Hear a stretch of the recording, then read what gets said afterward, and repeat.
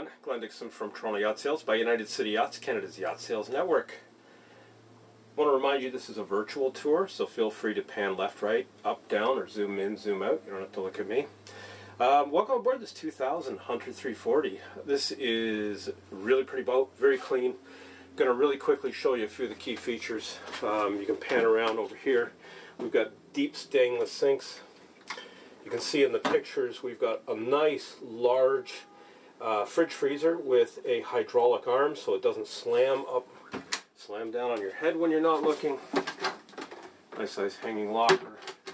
Good sized nav station.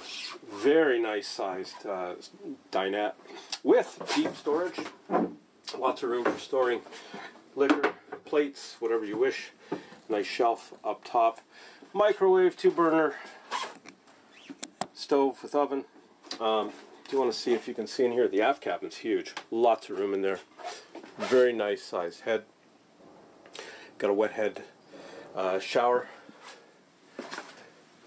Up forward, we have a good sized V berth, although I think you'll find the aft cabin to be much more suitable.